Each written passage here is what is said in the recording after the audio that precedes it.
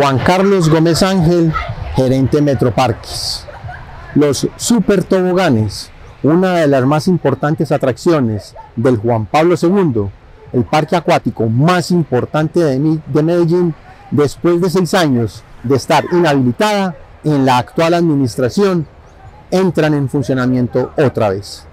Adicionalmente, debemos recordar que contamos con nuevos espacios como el parque infantil y también la zona Zen para el descanso. Contamos con nuevas figuras en la piscina infantil. También los invitamos a nuestro emblemático espacio que es la piscina de olas, la mejor piscina de olas del país, en la cual podrán disfrutar de olas hasta de 3 metros. Por último, decirles que la actual administración ha invertido en el mantenimiento del Juan Pablo II más de 1.500 millones. Toda esta serie de acciones han permitido que en el último año las visitas a nuestros parques se incrementen en más de un 30% anualmente.